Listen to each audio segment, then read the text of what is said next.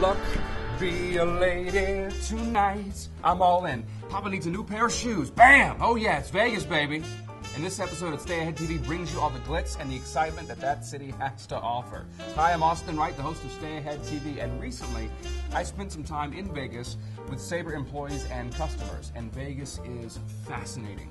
For example, did you know that in 1910 Nevada actually outlawed gaming? You couldn't even flip a coin to settle a wager.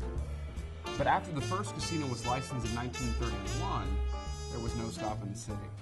Now it's one of the top tourist spots in the world, and I realized that talking about Sabre while in Vegas is a study on contrast. I mean, on the one hand, you've got Vegas, luck, chance, odds stacked against you. And then you've got Sabre, a sure thing, always looking out for your interests and advocating on your behalf. In this episode, I had a chance to talk to travelers who are trying to make the best choices when the choices aren't always clear. And I also spent some time with experts who shared their ideas on how to create the best experiences for others. And finally, I got to interview the best of the best, our 2012 $10,000 Sabre Red Appy Award winner from Limos.com.